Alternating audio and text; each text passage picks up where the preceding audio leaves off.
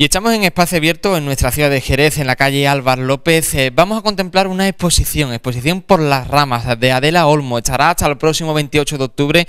Bueno, una inauguración que se que tuvo lugar aquí en esta, esta misma ubicación el pasado jueves día 6. Bueno, y ahí lo han podido contemplar esa explicación. Yo les invito a que vengan, a que la lean detenidamente, justo entrar en la puerta. Ahí podemos encontrar esa, esa explicación de lo que vamos a poder contemplar. Adela Olmo, muy buenas, ¿qué tal? ¿Cómo estamos? Hola, ¿cómo estamos? Muy bien. Bueno, presidenta también de Pintores de, Lava, que bueno, tenéis eh, no solo particularmente eh, esta exposición, bueno, sino tenéis mucho trabajo, tenéis unos meses muy cargados que también habéis estado con la fiesta de la vendimia activo en nuestra ciudad. Sí, estamos, eh, además estamos todos los domingos bajo los naranjos frente al Alcázar. Así nos reunimos, mostramos nuestro trabajo, pintamos y, y muy bien. Y va mucha gente y espero que vaya mucha más. Bueno, nosotros no nos andamos por las ramas, aunque ahora sí nos vamos a andar por las ramas y, vamos a ver tu, exposición. Bueno, que tenemos aquí. ¿Cuántas obras? ¿Cuánto? Porque hay un montón de eh, lienzos. sí, más de 30. Más de 30, aparte de las pequeñas que están allí dentro. Bueno, la, técnica. ¿Qué técnica has utilizado para esta exposición? Tinta china y acuarela. Tinta china y acuarela. y mucho arte. Bueno, lo que sí que vemos que, que hay pequeña, pequeños lienzos, otros que son bueno, de un tamaño mucho mayor, más colorido, menos colorido. Eh, ¿Hay diferentes estaciones o eso me parece a mí? Eh, en un tema sí hay diferentes estaciones, en los otros es diferente luz solo, porque he cogido las ramas que más me llamen la atención y que tengan una delicadeza y un movimiento bonito, y según la luz es lo que voy haciendo y, y lo voy creando también. Así que, pero hay unas ramas que se repiten, pero esas sí son las cuatro estaciones y tienen su historia. ¿eh? Cuéntame alguna de ellas. ¿Cuál podemos ver? Y me cuentas alguna porque yo creo que esto es bastante curioso y lo deben de saber los eh, Bueno, algunas ramas son de aquí. Esas son de cerca de la Avenida de Europa, que he visto un árbol precioso. Yo no les sé ni los nombres, solo sé que me gustan. Son pinos normalmente, la mayoría de las veces. Y también he cogido, esas imágenes son de Francia. pasé por el, ¿cómo se llama? El Jardin de Plan. Y nada, que las vi preciosas y las cogí. Esas son de la Alameda Vieja en Jacaranda, en Flor y hay repeticiones dependiendo de, son diferentes tamaños. Eh, Vamos sí, sí. Estas son las cuatro estaciones. Es una rama que mm, yo donde viví, en Inglaterra, estaba encima de una parada de autobuses. Y como yo la contemplaba y estaba enamorada de esa rama, y ahí en ese, en ese lugar viví como tres años afuera de otros que después me mudé, eh, claro, la pude sacar en sus diferentes colores por la estación que estaba. Y están repetidas porque en una está más frondosa, en otra, eh, claro, porque las he disfrutado y dependiendo de la luz sacaba otra foto y eso, porque estaba, y de repente, la, historia es que de repente se paraba el, autobús justo debajo de la rama y tenía que esperar que pasara, pero es que era un enamoramiento. Y eso, bueno, tiene, porque ahora la he hecho en diferentes tamaños diferentes formatos y, y la he disfrutado. Al principio me costaba mucho, pero después ya tanto dale que dale, hasta que saliera con arte, saliera con el movimiento que yo le veía a la rama. Y cuando la vio Lucía, claro. ¿Se enamoró también? Se enamoró también. Esto lo hacemos. y claro, bueno, tengo por ahí Lucía. Lucía algún día la vamos a tener que entrevistar. Ella, ella no quiere, pero bueno, algún día la entrevistaremos, algún día hablaremos de ella porque es verdad que este rinconcito tiene, algo especial, ¿verdad? Sí, se viene a, disfrutar, a tomar un té, a conversar, calladita, la gente viene a trabajar. Es un sitio muy agradable y muy tranquilo a la vez y podemos contemplar eh, mes a mes, bueno, algunas diferentes exposiciones. Bueno, en este caso tenemos tenemos ramas, pero es que para el próximo mes podemos tener algo totalmente diferente y eso es lo que eh, engrandece un poco más. Hay otro pintor que está Rodrigo Báez, ¿no? Y después, bueno, tiene la temporada absolutamente copada hasta el 24 y yo le estoy pidiendo el 25 ya. o sea, que, hay lista de espera. También animamos a todos los pintores, a todas las personas jerezanas, bueno, ilustradores, quien tenga algo que contar, que vengan aquí a este espacio abierto y también expongan, expongan su arte. Vamos a seguir hablando. unirse, claro. Vamos a seguir hablando de la de, acuarela, vamos a seguir hablando de, tinta china, bueno, y de colores, porque aunque hay mucho que tiene ese fondo blanco, ahí vemos uno eh, amarillento, color café. Mm, ¿Cómo se ha realizado? esas ramas las cogí en un bosque de chiclana. Y me enamoré de ella, por supuesto. Entonces tenía que mostrar la hora en que las encontré, que era un atardecer, y, quería que se notaran mucho. Entonces, nada, le di un buen baño y para que hubiera un contraste que, llamara la atención y además se viera natural.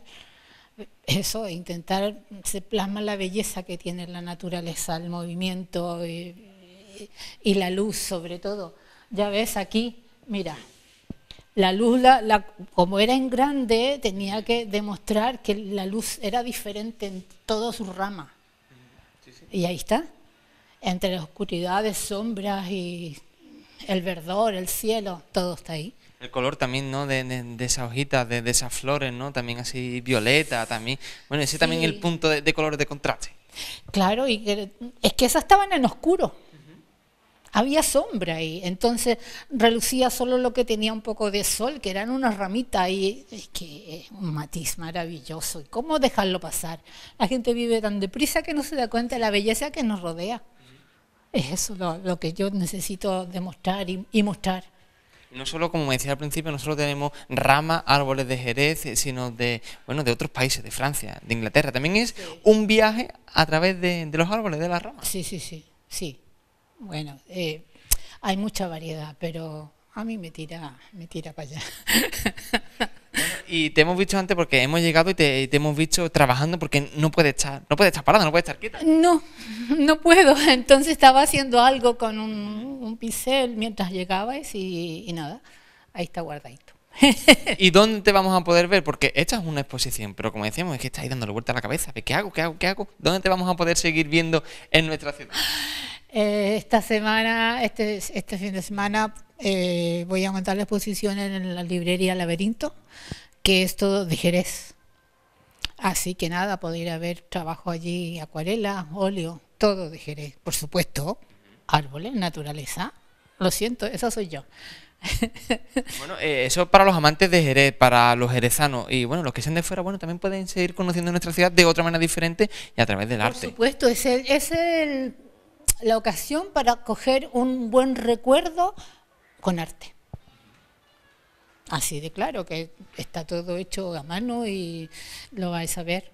¿Y por qué no se pueden perder todas las personas que no estén viendo esta posición entre las ramas? ¿Por qué tienen que venir? Porque es diferente, es original, es elegante, tiene luz, color y naturaleza. Es mía. que a lo mejor, ¿no? claro. Pero sí es verdad que, muchas veces no, disfrutamos tanto del campo, no disfrutamos tanto de, la naturaleza. Estamos muy acostumbrados a quedarnos en casa y cuando tenemos un tiempo libre tumbarnos en el sofá y encender la tele. No salimos al campo, no salimos a la naturaleza, no tenemos ese contacto, ¿no? si van al campo, llevan la copita y se quedan tomando una copita y no ven lo que hay alrededor, que es una maravilla lo que tenemos aquí. Entonces, yo creo, creo que hay que disfrutarlo. Y aunque sea muchas veces, porque siempre, es verdad que tenemos al menos un árbol siempre en mente y decimos, bueno, este es el mismo árbol de, siempre, el que pasa al lado de casa, el que está al lado de, la plaza donde siempre he jugado, pero ese, esa rama, ese árbol va cambiando a lo largo de, la vida, igual que lo hacemos nosotros. Pero si cambia de, de la mañana a la tarde se ve absolutamente diferente. Hay árboles que no llaman la atención porque en ese momento no tienen la luz adecuada, pero si tú lo miras a otra hora, se ve que es una preciosidad. Es solo eso, hay que saberlo buscar, el momento adecuado y disfrutar de la luz, de la sombra y de todo eso.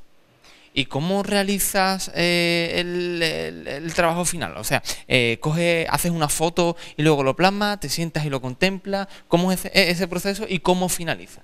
A ver, normalmente, eh, justamente por coger la luz que yo veo que, que está bien, cojo una foto pero después vuelvo a pasar y, veo los detalles que pueda tener. Entonces trabajo entre el natural y la foto, para porque no puedo estar tres, cuatro horas intentando, no, es que, eh, pero eso es lo que hago. Ahí también hay uno que, me llama muchísimo la atención, que es lo que vemos, es mm, la, Torre Eiffel. Esa foto la, la cogí yo. Y es que fue por casualidad. Me puse a caminar porque, mm, bueno, allí mi hermana voy mucho. Y fue un momento que dije, pero si está perfecta. Y cogí la foto, me la traje, ya está. ya podrás ver que está la Torre Eiffel y, con las, las, ramas de plátano. sí, sí. Y, el verde, las diferentes tonalidades que, que hay de verde en un mismo árbol. Sí, sí, sí. Sí, ya ves que... Y eso se puede hacer un poco más grande incluso. No, no voy a hacer. mi alma divaga, mi, pensamiento además. Eh, allá se repiten las cuatro estaciones y allá tengo una, una rama que ya se presenta con más sombra y unos brotes verdes y cosas más pequeñas. ¿Y se pueden adquirir? O sea, si hay alguien que, que venga aquí y, se enamore de alguna de las obras, puede decir, oye, Adela, yo me la quiero llevar a casa. Estamos, está a disposición de, vengan a buscarla. Bueno, vengan a espacio abierto, disfruten, tómense un café, un té, desayunen, meriende. Y, con la amiga aquí y deciden qué vais a querer.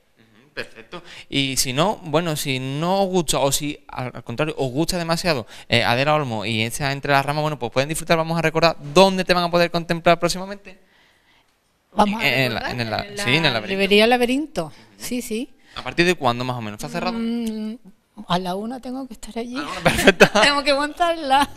Perfecto. Entonces ya este fin de semana estar allí y van a ver lo que hay en cuanto a Jerez son acuarelas, ya he dicho, y, óleo, pero podéis disfrutarla y allí hay muy buena atención y un sitio muy agradable también. Adela, muchas gracias por atendernos, muchas gracias bueno por, por esta exposición que nos regalas a todos los jerezanos. Y gracias Lucía por tener este espacio tan bonito. Muchas gracias. gracias a vosotros. Bueno, pues ya, ya lo saben, hasta final de, este mes pueden venir a Espacio Abierto y pueden disfrutar, entre las ramas pueden disfrutar, bueno, del arte de Adela Olmos.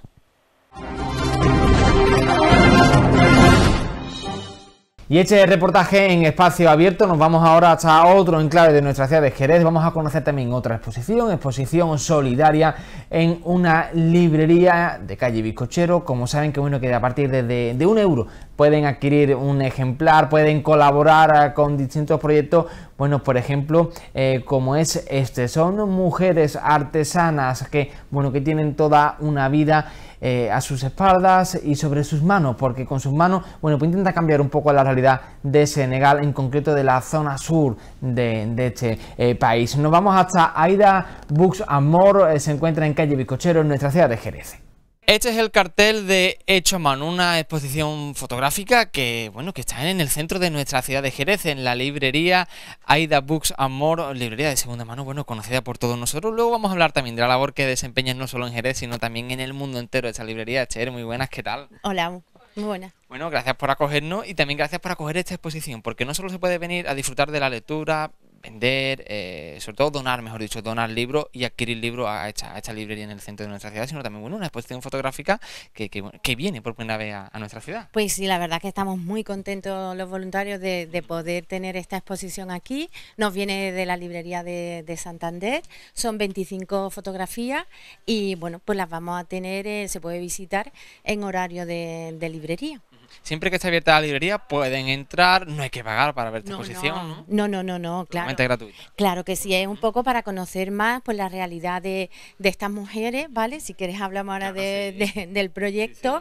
Eh, esta exposición que se llama Hecha Mano, pues nos habla de, las manualidades, de la artesanía que realiza un grupo de, mujeres en el sur de, Senegal y a través de esta artesanía, bueno, pues han conseguido que cambiemos nuestra mirada respecto de ellas, ¿no? Y me parece que son unas mujeres muy valientes, que luchan en un mundo muy difícil, pues con su diversidad funcional. Y todo ello, como, como decimos, a través de esta fotografía, bueno, ahí está nuestro compañero enfocando ese, eh, ese proceso de creación del cartel, bueno, a través de una fotografía se, se hizo ese, ese, dibujo, luego con telas el collage, ah, bueno, también se digitalizó y ese es el cartel, el cartel con el que hemos empezado esta entrevista, que bueno, que luego también lo, seguirán viendo y lo verán, eh, yo le invito a que vengan aquí a esta librería eh, Aida Books Amor, bueno, en nuestra, en nuestra ciudad de Jerez. Y como decimos, Echer, bueno, pues 25 retratos, 25 cinco fotografías de esas mujeres senegalesas, bueno, que intentan cambiar su vida, intentan cambiar un poco su realidad a través, bueno, de, de trabajos tan habituales tan clásico como es la artesanía, el mimbre, todo, todo, la todo a, través de, su mano, a través de, sus dedos. Exactamente, así es, a través de la, de la artesanía y del trabajo hecho a mano, pues ya lo que está, estamos poniendo, ellas ponen en valor lo que es su dignidad y, sus derechos. Y nosotros simplemente lo que le damos es visibilidad y se puede contemplar siempre en la parte de arriba de, la librería, justo eh, arriba de todos esos estantes, de todos esos libros. Bueno, lo podemos ver, en su mayoría son imágenes en blanco y negro, ¿no? Sí, son unas imágenes preciosas. Ya los que conocéis la librería sabéis que no tenemos mucho espacio, pero tenemos un compañero que ha hecho una auténtica maravilla y ha puesto la fotografía de una manera muy bonita y creo que es un lujo tenerla aquí. Bueno, también hay que reconocer el trabajo de, los autores. ¿Quiénes son los autores de esta pues Mira, los autores son tres jóvenes que se llaman Valentina, Ángela y Pablo y que hicieron su trabajo de fin de máster precisamente realizando esta fotografía en Senegal. Bueno, como decimos, la primera vez que viene esta exposición a Jerez, a esta librería, pero bueno, tampoco se descarta más, más exposiciones, ni, ni mucho menos que, que vuelva a venir, ¿no? Por supuesto, tú sabes que nosotros queremos ser no solo un centro de solidaridad, sino también de cultura en el centro de Jerez. Siempre he defendido que es un punto abierto a la cultura, a la solidaridad y a lo que haga falta. Bueno, hablábamos de, imágenes en blanco y negro, pero Miguel, si, si enfocas estas, estas imágenes, bueno, estas son a color, son diferentes, eh, bueno, pero que todo siempre está ahí eh, hecho a mano, siempre está ese en detalle de, de, las manos, de la mirada, siempre del rostro, bueno, y de la mujer, ¿no? La mujer muy presente. Muy presente porque son ellas las que realizan estas manualidades, esta artesanía, más que manualidades, que me sale esa palabra, y ellas lo están vendiendo en, en Senegal, en, en algunas ferias, incluso en los propios talleres, y ellas están cambiando su propia economía doméstica y además aportan para su propio, para su propio cuidado. O sea que es un valor increíble. Bueno, que es necesario que, haya chicos, que haya personas como, como esos tres autores que muestren la realidad, bueno, y nosotros luego también tenemos que, acercarnos a ella, tenemos que empatizar y tenemos que, conocer la, realidad, bueno, una realidad que está muy unida, muy vinculada a la labor que, que realizáis aquí en esta librería. ¿no? Sí, tú ya nos conoces y sabes que evidentemente nosotros hacemos una, una labor social que nosotros ponemos en valor lo que, lo que ellos nos transmiten, ¿no? Y que nosotros trabajamos, que nuestros libros son para salvar vidas y que nuestras ventas son todas para para salvar vidas. Bueno, y cuando hablamos de venta, bueno, ya están empezando en casa, bueno, seguro que me vale 10, 15, 20 euros el libro, el ejemplar. Para nada, ¿no? Porque aquí es muy fácil donar y muy fácil también llevarse un libro a casa. Claro, mira, nosotros aceptamos todas las donaciones que nos quieran traer, excepto eh, la enciclopedia, porque hoy en día ya sabemos que no la quiere nadie, pero sí que luego los libros los ponemos a unos precios muy asequibles. Partimos de, de un euro, dos, tres, creo que el libro más caro que hemos tenido pues ha costado cinco euros, ¿no? Pero que son libros muy asequibles y además pues hay, es un ambiente de, de donar, de curiosear, de vivir los libros. Tienen aquí los libros una segunda oportunidad y nosotros conseguimos además pues cambiar realidades en otros sitios. A mí me, mm, se me ocurre y me apetece, por ejemplo, venir, eh, he hecho mi paseo por el centro y luego vengo aquí a ver esta, esta exposición porque es realmente curioso y no solo nos quedamos con una simple estampa, con una simple fotografía, sino que también hay un código QR que es muy fácil. Con el móvil se escanea, se lee ese código QR y accedemos a qué? Accedemos a un documental sobre esta fotografía, o sea que, que va, va más allá y podemos acceder a ese documental y a toda la información que yo te estoy contando, pues la, la tienes ahí en ese código QR. Una, información mucho más ampliada, también desde, un punto de vista diferente, bueno, no solo con la fotografía, sino también con el vídeo, bueno, pues podemos contemplar esta realidad y nos, y hacemos un poco más, más conscientes, más partícipes de, esta realidad de, estas mujeres en el sur de, Senegal, como me comentabas, Esther, y nos animamos también a llevarnos ese libro por, un euro, que también le estamos ayudando de otra manera. Hombre, claro, claro, porque eh, como tú sabes, nosotros tenemos otra serie de proyectos, por ejemplo, eh, nuestro proyecto de traer niños que se tienen que operar aquí en Europa, el el proyecto de trabajar en el norte de África con mujeres maltratadas. Hay muchísimos proyectos que tú sabes que la página web los tiene, que los tiene perfectamente explicados y, todo muy bien detallado. Lo importante, ¿hasta cuándo está esta exposición? Vamos a recordar también los horarios. Vale, pues mira, eh, estará hasta mediados de enero, o sea que tenemos ahí un tenemos tiempo para pasar y lo hacemos en horario de librería, es decir, ahora estamos por la mañana de 10 a una y media y por la tarde de 5 a 8. ¿Y los fines de semana, que son cuando también muchas personas libran, pueden venir? Sí, perfectamente. El sábado por la mañana hacemos horario de 10 a, ah, de 10 a una y media, con lo cual el paseíto del centro y visitar la exposición pues sería un muy buen plan. Y el libro, que se lleven un libro. por supuesto que sí. Eso es que lo doy por hecho, que el que viene se lleva, se tiene que llevar el libro. Pues muchas gracias, Cher, por partida doble, bueno, por, invitarnos, por acogernos y sobre todo también, bueno, por traer esta exposición y por mostrar a todo el mundo la, realidad que, que, que, se padecen en Senegal, en el sur de Senegal, estas, estas mujeres. Y bueno, que nosotros podemos ayudar, que aunque parezca que desde esta vida tan acomodada que, tenemos, eh, eh, tenemos absolutamente todo, bueno, también tenemos que darnos con esa dosis de, de realidad, tenemos que encontrarnos, bueno, con, con esta vida tan diferente y oye, que pues que podemos ayudar con la donación de un libro, adquiriendo un libro por un euro o simplemente difundiendo esta exposición y difundiendo la labor que, realizáis. Claro, y ofreciéndose como, como voluntario. También, que, no lo hemos hablado. Claro, se puede ser voluntario y yo creo que uno un voluntariado precioso el que, el que hacemos aquí. Te quiero dar las gracias a ti, a vosotros por, por la voz que, que, que nos da y la difusión que nos ayudáis a dar. Nada, gracias siempre a vosotros, Chen.